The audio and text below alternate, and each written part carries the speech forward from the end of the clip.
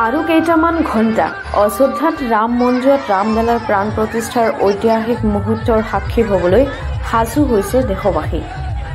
বাইছ জানুৱাৰীত সোমবাৰে অযোধ্যা ৰাম মন্দিৰত ৰামলালাৰ প্ৰাণ প্ৰতিষ্ঠাৰ প্ৰাকখনতেই শিলচৰত এক উৎসৱমুখৰ পৰিৱেশৰ সৃষ্টি হয়।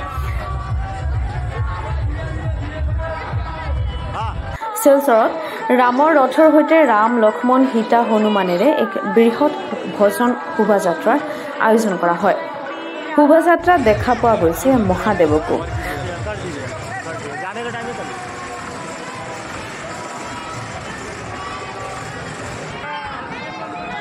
শিলচৰ সোণাই ৰোডৰ গোপাল আখৰৰ পৰা বিভিন্ন সংগঠন আৰু ৰাম ভক্তসকলে এক বৃহৎ ভজন শোভাযাত্ৰা উলিয়ায়।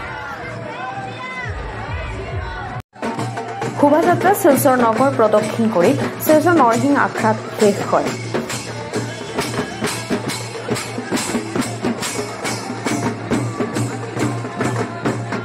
শোভাযাত্ৰাত সমগ্ৰ চহৰখন ৰাম নামেৰে গুঞ্জৰিত হৈ পৰে। এই শোভাযাত্ৰাৰ অংশগ্ৰহণকাৰীসকলৰ হাততো গেৰুৱা ধ্বজ লৈ অংশগ্ৰহণ কৰাও দেখা গৈছিল।